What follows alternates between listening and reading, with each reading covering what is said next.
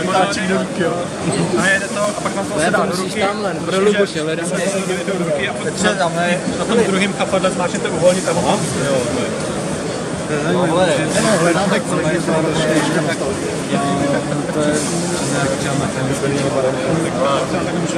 My jsme právě vymýšleli, jakým způsobem to odprezentovat.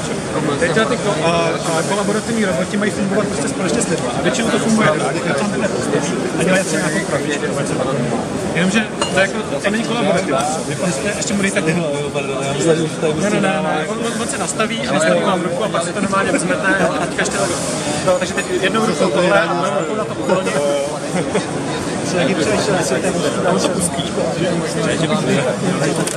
Takhle vám dám otvírat. A ten si klidně nechte a my jsme právě chtěli, aby jsme to vlastně jako kdyby takhle uh, interaktivně s těma lidma, co tady kolem toho budou chodit, protože uh, jinak to nedává smysl.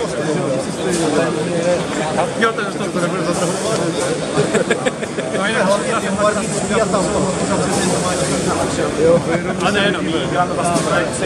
Když máš Apple, Ale já jsem si to kde má co vymýšlíme uh, řešení, že většinou nám přijde zákazník, a řekne, takhle problém, pojďme ho vyřešit. Takovýhle výrobek, zkusíte jako vyrobit.